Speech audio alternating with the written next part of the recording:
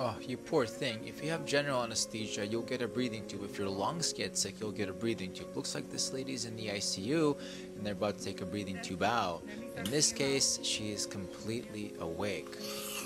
Why not take it out when you're asleep? Well, sometimes we do, but sedation can affect and slow down breathing. So if your breathing is marginal, we want to see you breathe really, really well without any sedation off to make sure that we can remove the breathing tube oh. safely. Because if we take out the breathing tube too early and we have to put it back in quickly, that's an emergency. And in emergencies, that's when things go wrong.